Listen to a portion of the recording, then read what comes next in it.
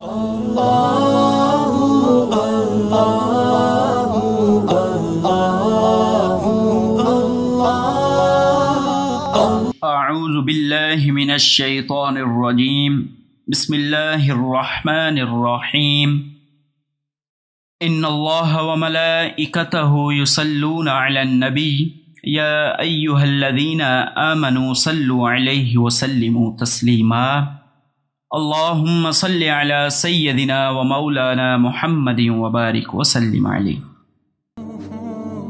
मेरे दोस्तों, बुज़ुर्गों बहन भाइयों अस्सलाम वालेकुम व रहमतुल्लाहि व बरकातुहू। मोहतरम नाजरीन, आप सबको खुश आमदीद आपके अपने चैनल रूहानियत की दुनिया में। मुझे उम्मीद है कि आप सब खैर आफ़ियत से होंगे। मेरी दुआ है कि अल्लाह रब्ज़त आप सबको दोनों जहानों की नेमतों से माला माल फरमाए। आज का मौजू है बच्चों के रिश्तों का ना होना। मोहतरम नाजरीन, वो बच्चियाँ जो अपने रिश्तों की वजह से परेशान हैं और वो बच्चे जो अपने रिश्तों की वजह से परेशान हैं और उनकी वजह से उनके वालदेन भी परेशान हैं, उनके लिए आज मैं बहुत ही नायाब वजीफ़ा लाया हूँ।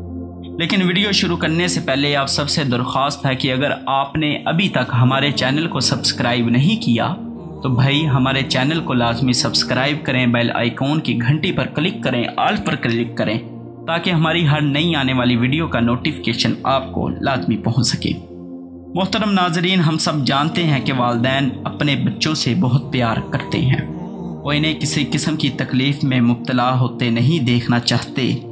इसी मोहब्बत की वजह से वालदेन चाहते हैं कि हमारी बेटी के लिए ऐसा दमाद मिले जो लाखों में एक हो। वालदेन अपने तस्वूर में एक आइडियल दमाग का नक्शा बना लेते हैं, यानी कि इसका रोज़गार इस किस्म का हो। इसका रंग, रूप इस किस्म का हो, इसका कद इस किस्म का हो, इसका घर इस किस्म का हो, इसके वालदेन ऐसे होने चाहिए। इसकी बहनें इस किस्म की हों या ना ही हों, ताकि हमारी बेटी के लिए परेशानी का बायस ना बने। इसके भाई ऐसे हों, इतने होने चाहिए, वो अपने घर में सबसे बड़ा ना हो, वो अपने घर में सबसे छोटा ना हो, वो मोटा ना हो, वो दुबला पतला ना हो, उसकी पसंद ऐसी हो, उसका मिजाज ऐसा हो। गर्ज ये कि एक लंबी चौड़ी ख्वाहिशात की फहरिस्त दिलो दमाग में पुख्ता कर लेते हैं। और समझते ये हैं कि हमें चूँकि अपनी बेटी से बहुत प्यार है, इसलिए इसके भले के लिए ये सब सोचते हैं। अब वालदेन ख्वाहिशात की फहरिस्त लेकर दमाद तलाश करने निकलते हैं। बहुत सारे रिश्ते देखते हैं।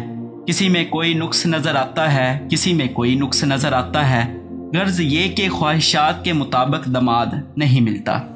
इसी तलाश में बेटी की उम्र ज़्यादा होती जाती है। वालदेन को दमाद मिलता नहीं। इन्हें कौन समझाए कि जिस तरह का दमाद आप चाहते हैं, वो तो इस दुनिया में ही नहीं है। आपको कैसे मिल सकता है? आखिरकार वालदेन ये कहते हुए सुनाई देते हैं अच्छा रिश्ता नहीं मिलता। मोहतरम नाजरीन, इसके बाद आमिलों से तवीज़ लेने का सिलसिला शुरू हो जाता है। वज़ाइफ का सिलसिला शुरू हो जाता है। कोई भी तवीज़ हो या वजीफ़ा हो, इस वक्त तक फ़ायदा ना देगा जब तक आपकी ख्वाहिशात की फरिस्त ख़त्म नहीं होती। इसी तरह मोहतरम नाजरीन, लड़के वाले भी लड़की की तलाश में जब जाते हैं तो उनकी भी फरिस्त लंबी चौड़ी होती है कि लड़की का रंग कैसा होना चाहिए, लड़की का मजाज कैसा होना चाहिए, उसका कद कितना होना चाहिए, वो कितनी पड़ी हो उसकी बहनें कितनी हो, उसकी माँ कैसी हो, उसका घर कैसा हो। जब इतनी लंबी चौड़ी फरिस्त लेकर हम निकलते हैं तो हर इंसान के अंदर कोई ना कोई ऐसा नुक्स होता है जिसकी वजह से रिश्ता जो है, वो पाए तकमील तक नहीं पहुँच पाता। क्योंकि ये कहना बिल्कुल गलत है कि रिश्ता नहीं मिलता। रिश्ते तो आपने बहुत देखे, लेकिन आपको पसंद कोई ना आया। वज़ाई पढ़ने से दूसरे आपकी तरफ़ मतवजो होंगे और रिश्ता करने पर आमादा हो जाएँगे। लेकिन असल ख़राबी तो आपकी सोच और ख्वाहिश में है। जब तक ये दुरुस्त ना होगी, रिश्ता ना होगा। बिल्कुल इसी तरह हम बेटे के लिए भी बहुत तलाश करते हैं और समझते हैं कि अच्छी लड़कियाँ दुनिया से गायब होगी। यानी कि मिट्टी अपने ऐनक के शीशे पर है और समझते हैं कि इर्द गिर्द हर चीज़ पर मिट्टी पड़ी है। वो चीज़ें साफ़ करते रहते हैं, लेकिन ऐनक साफ़ नहीं करते। वालदेन से नहायत अदब से गुजारिश है कि अपनी सोच बदलें। वालदेन की गलत सोच और ख्वाहिश की वजह से कितने ज़्यादा बच्चे बगैर शादी के ज़्यादा उम्र के हो गए हैं। बेटियाँ घर बैठी बुढ़ी हो रही हैं। वालदेन से दोबारा नहायत अदब से गुजारिश है कि मुनासिब रिश्ता देखें। इनकी शराफत देखें अच्छा ख़ानदान देखें और अल्लाह ताला के भरोसे पर रिश्ता कर दें। मोहतरम नाजरीन, हमें रिश्ता माल देख कर नहीं करना चाहिए, ना हुसन देख कर करना चाहिए। माल ऐसी चीज़ है जिसने एक ना एक दिन ख़त्म हो जाना है। और हुसन भी एक ऐसी चीज़ है कि जब इंसान की जवानी ख़त्म होती है, उसी के साथ उसका हुसन भी ज़ायल हो जाता है। तो फिर क्या देख कर रिश्ता करना चाहिए, दीन देख कर रिश्ता करना चाहिए? क्योंकि दीन ऐसी चीज़ है जो इस दुनिया के अंदर भी काम आएगी और आखिरत में भी काम आएगी। अगर आपकी बहू नेक है तो आपके जो पोते हैं, वो भी नेक होंगे और आपके बेटे का भी अदब करेंगे और आपका भी अदब करेंगे। कल आपके मरने के बाद आपके पीछे हाथ उठाकर अपने दादाबू के लिए, अपनी दादी माँ के लिए दुआ भी करेंगे। मोहतरम नाजरीन, इस बात को ज़रूर देखा करें। जब आप अल्लाह ताला के भरोसे पर रिश्ता करेंगे तो ज़रूर अल्लाह ताला इसमें बरकत डाल देगा और आपकी बेटी और बेटा अच्छी ज़िंदगी गुजारेंगे। इस बात के लिए कि अच्छे और शरीफ लोग मिल जाएँ, इसके लिए वजीफ़ा हाजिर खिदमत है।